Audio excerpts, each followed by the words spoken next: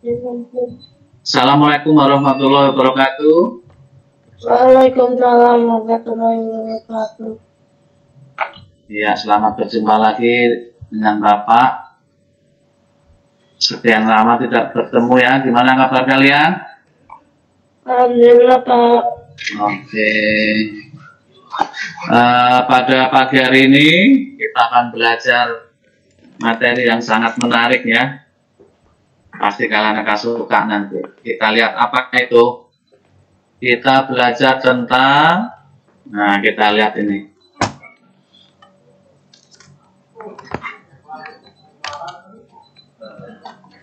Iya.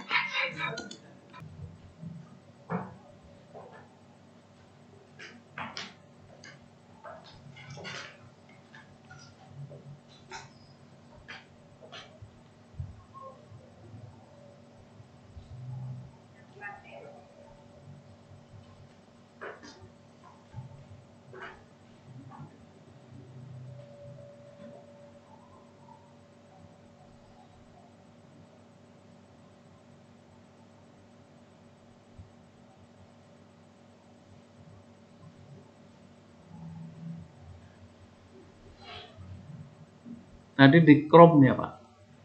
Hmm? Chrome Apa? yang midnya. Ya, ya. Ini nih, klik, Eh iya nih klik, dulu. klik, share. Udah, ah, terus langsung ke, oh, udah. Nah, Halo? Halo, kedengeran nggak? Halo, salah satu nyaut, kedengeran nggak? Mic-nya jangan-jangan.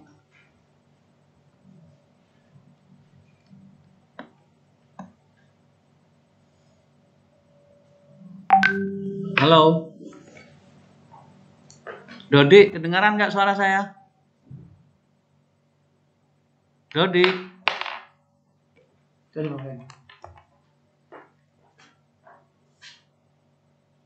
Suara saya nggak bisa masuk.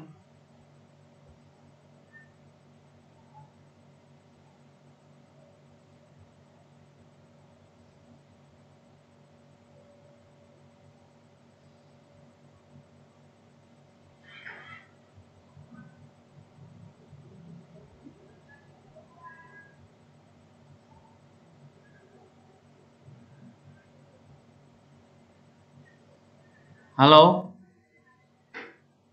Halo, Dodi? Iya Pak. Oh ya, bentar ya. Lagi ada gangguan jaringan, bentar. Filenya kelihatan belum? Halo, Del? Kelihatan Pak. Iya Pak. Oh Iya kelihatan Pak. Oke, pada hari ini ya belajarnya itu kompeten da- kompetensi dasarnya ini menerapkan hukum-hukum hidrostatik dalam kehidupan sehari-hari. Kemudian untuk keterampilannya merancang dan melakukan percobaan yang memanfaatkan sifat-sifat fluida statik. Berikut presentasi dan hasil percobaan serta pemanfaatannya. Nah, sebelum belajar jauh, kita lihat dulu mengenai pengertian fluida. Ada yang tahu nggak fluida apa artinya? Udah cair. Nih lihat.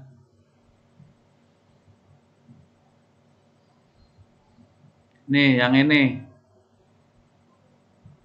Ada dua yang disebut fluida itu. Apa dan apa?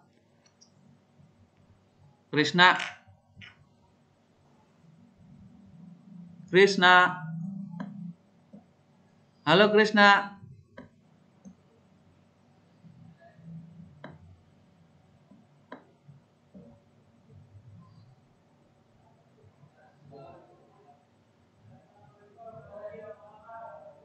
Del, suara saya masih kedengaran ya Del? Apa Pak? Oh udah berarti kedengaran. Nah, nah, nah. Dengerin Bapak dulu ya. Iya Nah, Pak. Oke, fluida itu ya terdiri dari dua zat, yaitu udara dan air. Semua yang mengalir itu disebut fluida. Nah, yang kita pelajari itu apanya? Yang pertama adalah mengenai tekanannya. Uh, siapa yang bisa berenang? Siapa yang bisa berenang? Ngomong. Saya. Ya. Saya. Kalau berenang di di permukaan sama di nyelam itu berat mana? Kalau kalian di permukaan. Dalam Pak, dalam. Kalau berenang di permukaan sama di dalam berat yang mana? Permukaan. Oh, yang benar. Permukaan. Kamu berenang di permukaan sama di dalam berat mana waktu? Dalam, dalam, dalam, dalam. Nah, waktu gerakin kaki. Yang betul berat di dalam. Kalau di permukaan itu gerakannya lebih mudah. Apa sebabnya? Apa sebabnya?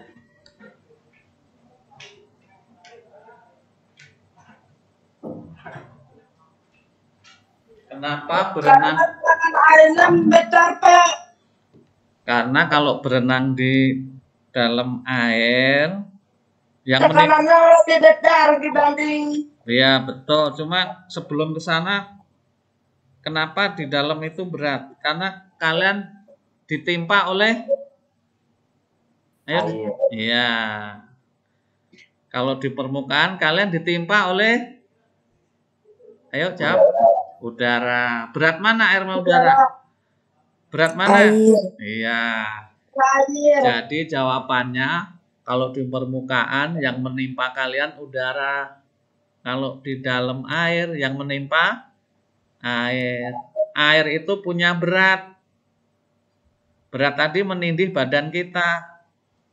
Sehingga makin dalam air yang menindih makin Ayo, berat. makin berat.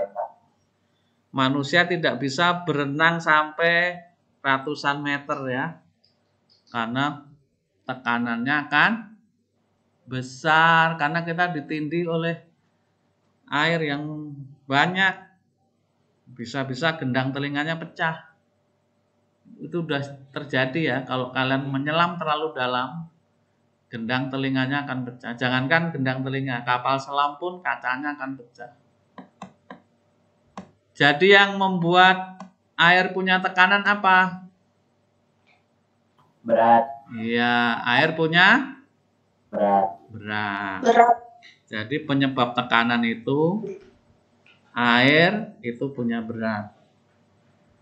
Berarti makin dalam air yang menindih makin berat, maka tekanan air itu makin dalam makin jawab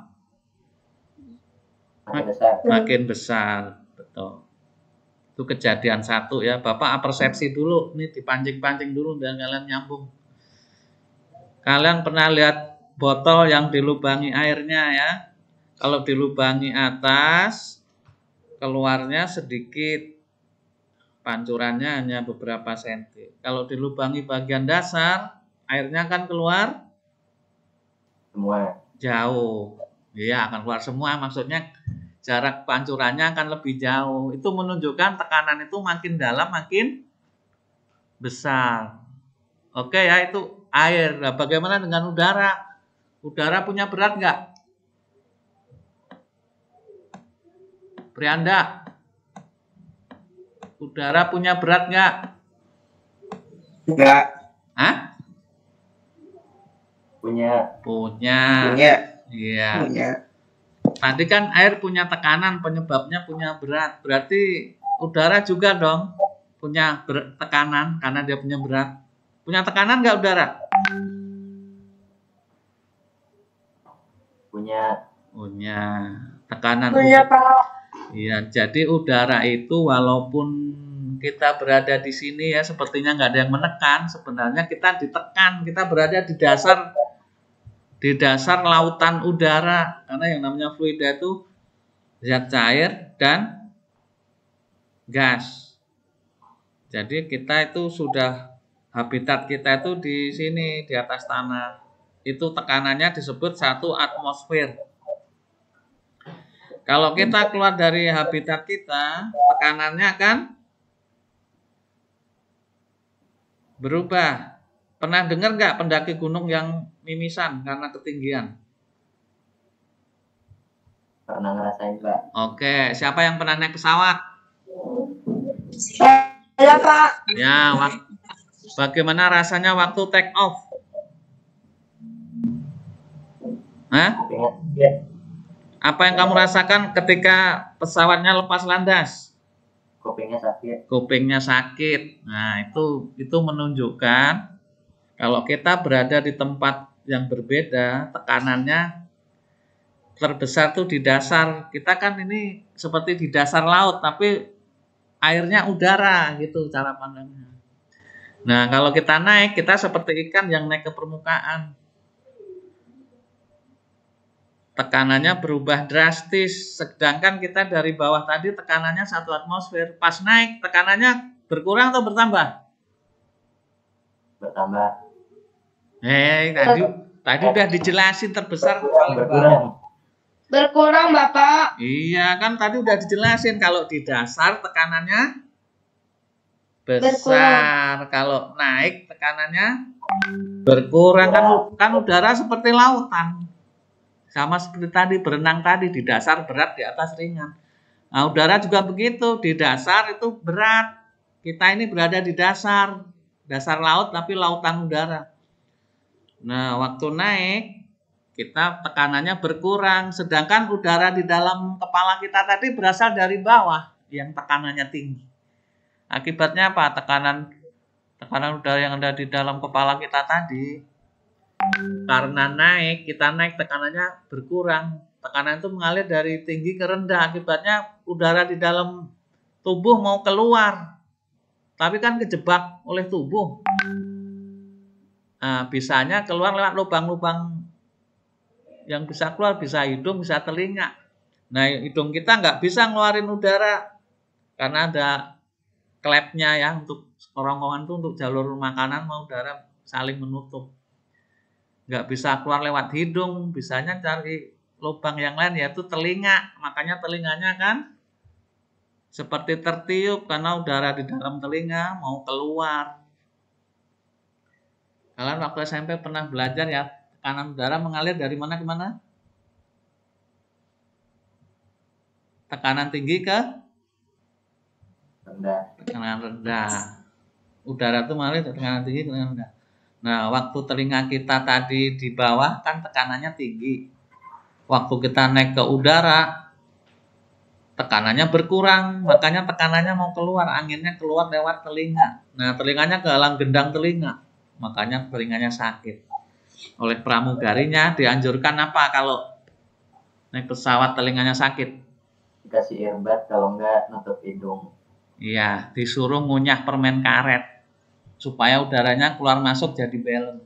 Tekanan di dalam dan di luar jadi sama. Itu contoh adanya tekanan udara. Nah, kalian lihat kalau ada api, nyalanya ke mana arahnya? Kalau kamu nyalain lilin, apinya ke mana? Ini diskusi tapi Bapak pancing ya karena suasananya kayak gini nggak bisa sendiri harus Bapak Bapak stimulus. Api arahnya ke mana? Halo? Ke atas. Minyak dengan air yang di atas siapa? Minyak. Minyak.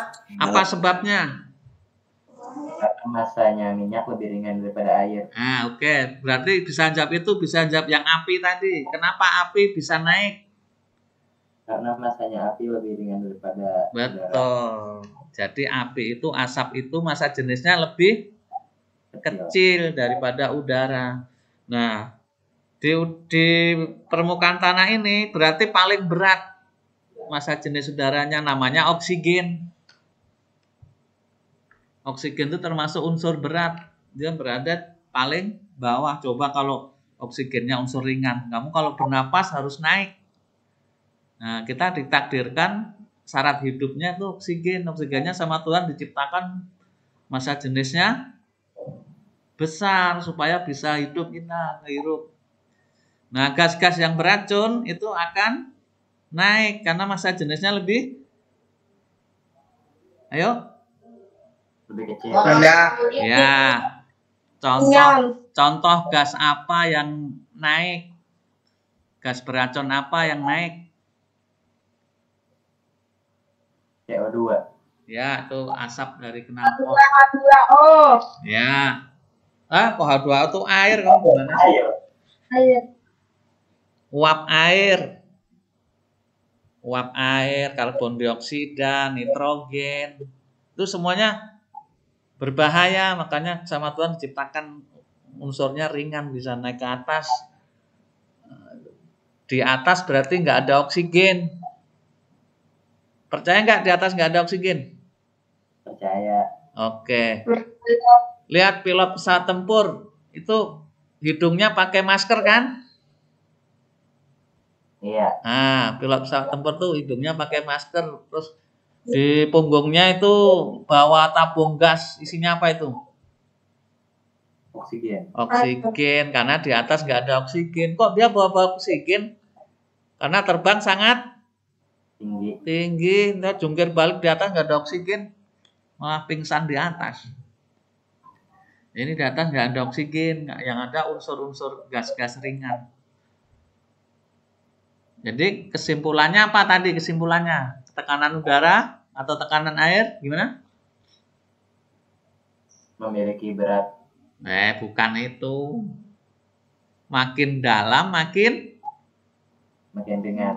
eh. Berat. Makin berat. Besar. nah, makin besar tekanan udara itu atau tekanan air itu namanya tekanan fluida itu makin ke bawah makin besar. Kesimpulannya itu namanya salah satu poin dari hukum Pascal nanti ya.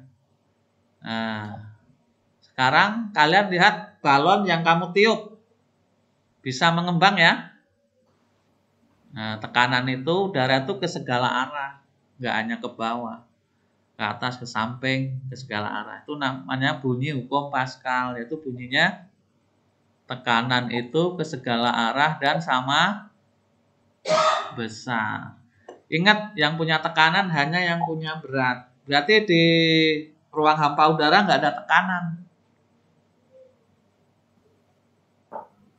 Itu apersepsi ya, daya tarik. Kita lanjut dengan hukum Pascal.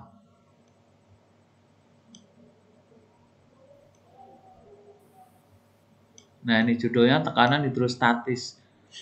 Hidro itu air, statis itu diam. Tekanan air yang diam. Jadi tekanan itu rumusnya P sama dengan F dibagi A. F itu force, gaya, A area. P itu singkatan dari pressure atau tekanan. Ini bahasa Inggris semua ya lambang-lambangnya karena kalau bahasa Indonesia tekanan T. Nah, ini bahasa Inggris pressure, force per area. Nah, satuannya ngikutin rumusnya nih. Kalau gaya itu satuannya N Newton. Terus A tuh meter persegi. Maka satuan tekanan tuh Newton per meter persegi. Nah, ini untuk menghormati Pascal ini disebut dengan Pascal, Newton per meter persegi.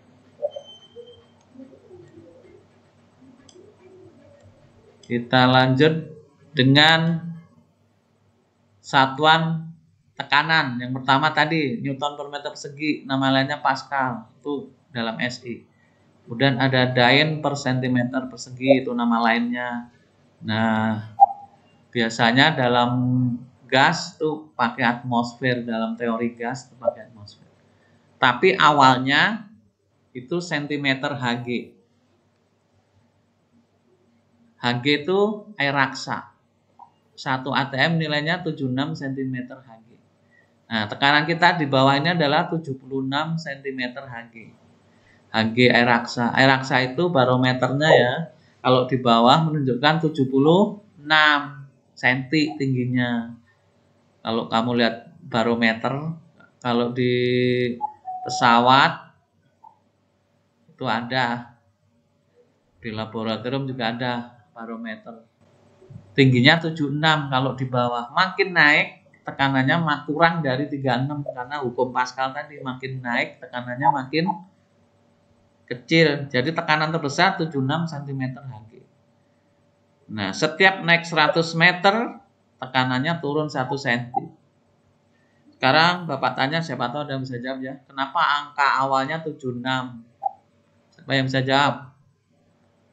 Kenapa tekanan awal di bawah ini disebut 76 cm air raksa? Kok bukan angka yang lain? Siapa yang bisa jawab?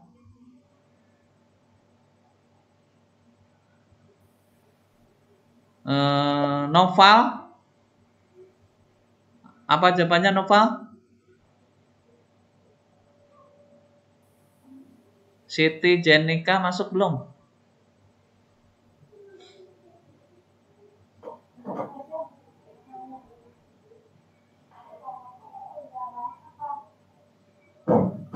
Yulfa, apa jawabannya? Kenapa angkanya 76?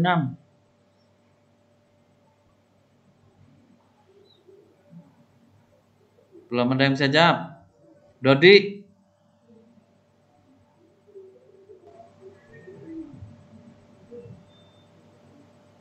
belum ada yang bisa jawab. Oh, kalian belum pernah dapat informasi ya. Waktu SMP nggak diajarin percobaan Torricelli. Ingat nggak? Nah itu kalau air raksa dijungkir di pipa kapiler, pipa kapiler itu pipa yang diameternya sempit, akan membentuk ketinggian 76. Makin kamu bawa ke atas, tingginya makin berkurang, maka air raksa itu dijadikan alat pengukur tekanan udara sekaligus ketinggian. Karena tiap naik 100 meter tekanannya turun 1 cm. Nah, sekarang kita lihat gambar ini ya. Ini gambar dari cairan yang diam. Tekanan udara tadi 76 disebut tekanan mutlak atau PO. Kemudian kalau H itu high, kedalaman. Maka rumus tekanan udara itu gaya dibagi luas. Gaya itu M kali G. M itu rho V kalikan G bagi A. Jadilah rumus tekanan hidrostatis atau pH itu rho GH. Rho massa jenis cairan, tidak hanya air ya, cairan. G-nya gravitasi, hanya kedalaman. Nah, kalau tekanan mutlak itu tekanan udara ditambah tekanan air. Sebenarnya tekanan udara itu hanya kecil, lebih besar tekanan udara. Tapi kalau ditanyakan tetap harus dihitung yaitu namanya tekanan mutlak pH tekanan hidrostatis tekanan mutlak ditambah rho GH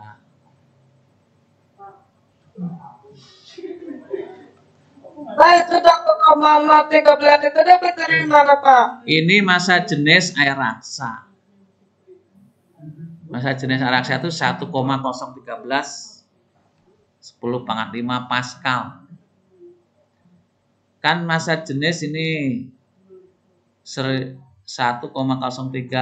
kali 1000 G-nya 10 kali height-nya jadilah ini ya, angka ini. Tapi di soal dibulatkan. Jadi 100.000 Pascal.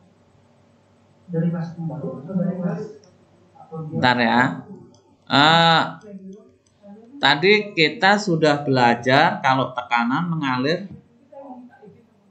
dari tekanan rendah ke tekanan tinggi. Benar nggak? Udah ngantuk nih ditanya. Tekanan udara mengalir dari mana ke mana? Tinggi ke rendah. Iya, oke. Dari situ kita bisa jawab pertanyaan ini. Kalian kalau meniup, ah meniup, meniup air panas, udaranya keluar dari mulut kan? Iya. Nah, berarti Iya, tek- tek- berarti tekanannya besar di mulut atau besar di udara? Betul di Iya. Eh, Jawabannya mulut apa? Nah, kalau kita meniup, tekanan di mulut itu besar. Akibatnya udaranya ke Iya. Keluar. Karena kita membesarkan tekanan udara di dalam mulut. Sama seperti ban ban dikempesin. Nah, ban dikempesin itu tekanan dari dalam ban keluar. Tuh, oke kita balik sekarang. Kalian minum air dengan sedotan. Minum air dengan sedotan. Airnya masuk ke mulut ya. Iya. Iya, betul. Iya, kalau minum dengan sedotan airnya masuk ke mulut. Berarti tekanannya besar di mana? Di mulut apa di air? Mulut. Mulut. Ye. Eh, tadi katanya mengalir dari tinggi ke rendah. Air, air, air, Pak, air. Kalau kita meminum pakai sedotan, tekanannya besar di mana? Air. Iya, Air. betul. Tekanannya betul. Kalau kita nyedot air, berarti di mulut tekanannya rendah. Akibatnya airnya masuk. Gitu ya? Iya, Pak. udah dibilangin dari tinggi ke rendah. Nah, jadi rumus tekanan air tuh rho GH.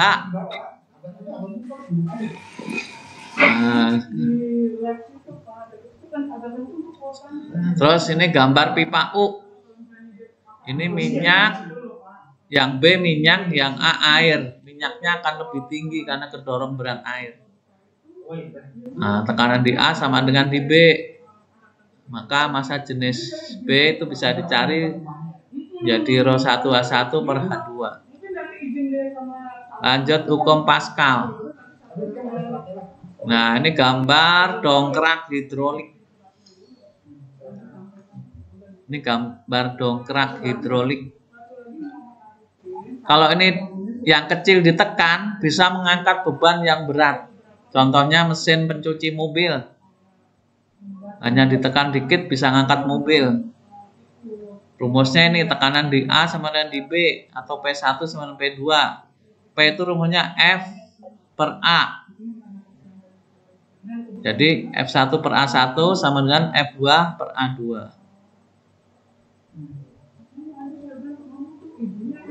Nah, kalau luasannya lingkaran ya tinggal PR PR kuadrat ini A-nya diganti PR kuadrat. Kalau bentuknya lingkaran, tapi alat-alat tuh pasti lingkaran karena lebih mudah digerakkan.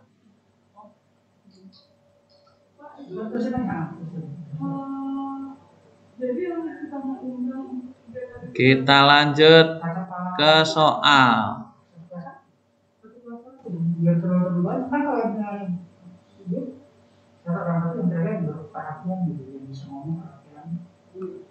Kita lanjut contoh soal. Ini ya, nomor satu. Se seekor ikan. Oh, kalian ini dulu ya. Kalian lihat dulu. Itu gambar ikan berada di kedalaman H. Nah, seekor ikan berada pada kedalaman 15 meter di bawah permukaan air. Massa jenis air 1000, gravitasi 10, tekanan udara 100.000, tentukan tekanan hidrostatis yang dialami ikan. B. Tekanan total yang dialami ikan. Nah, ini pakai rumus Pascal, pH sama dengan rho GH. Satu setengah kali 10 pangkat 5 Newton per meter persegi. Ini 15 meter. Assalamualaikum, selamat datang Pak Imam. Waalaikumsalam, Bu Eni, terima kasih. Iya, 17 ya? eh, perkenalkan anak-anak Pak Imam, kepala sekolah kita ikut hadir untuk melihat pembelajaran kita hari ini ya. Iya. Iya. Berarti dua guru sekaligus nih. Iya, Ustaz.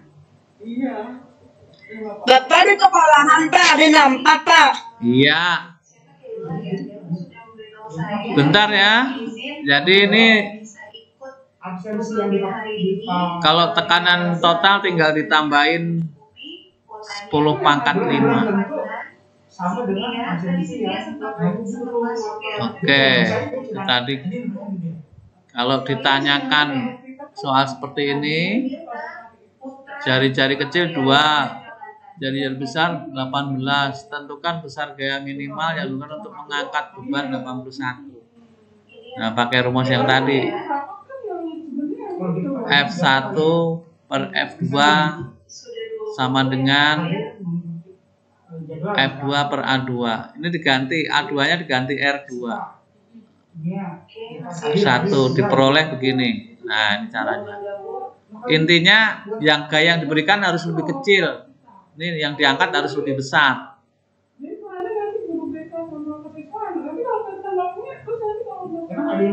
Nah, itu contoh soalnya ya.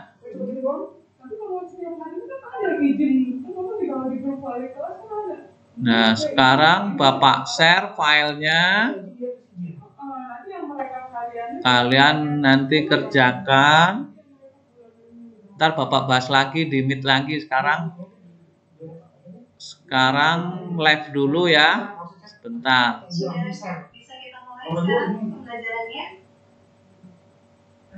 Nah, ini nanti soalnya ini nanti.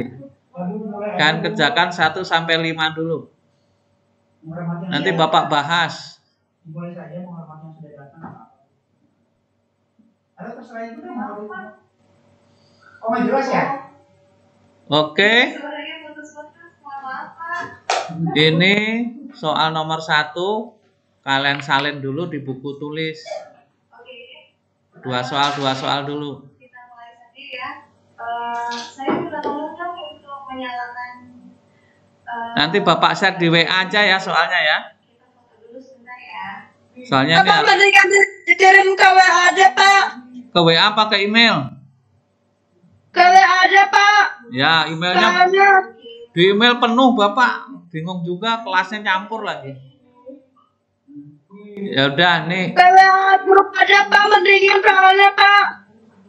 Oke, ya udah. Eh, ta- Bapak simpulkan dulu ya pada pertemuan kali ini. Fluida itu punya tekanan, penyebabnya adalah punya berat dan gravitasi, itu ya. Fluida itu ada dua, udara dan air. Terus tekanan itu makin ke bawah makin besar. Kesimpulan ketiga, kesimpulan keempat, rumus untuk hukum Pascal itu pH sama dengan rho GH. Itulah kesimpulan pada hari ini. Baiklah, Google Meet-nya sampai di sini dulu. Kita lanjut komunikasi lewat WA. Ya Pak. Nah, semoga kalian mengerti dan berguna untuk ke depannya ya. Iya Pak. Maaf Pak kalau udah selesai ngerjain ngirim ke email Pak. Apa di mana? Di WA aja entah japri. Kalau email Oke. terlalu kalau email terlalu banyak yang masuk, Bapak bukannya ini memorinya penuh. Iya Pak, apa-apa. Ya udah, sekarang kita tutup dengan berdoa. Bagi yang muslim membaca hamdalah, yang non muslim dipersilahkan dengan doanya sendiri. Berdoa dimulai. Alhamdulillahirabbil alamin. Assalamualaikum warahmatullahi wabarakatuh. Waalaikumsalam warahmatullahi wabarakatuh. Makasih Pak. Ya, nanti lewat WA ya soalnya ya.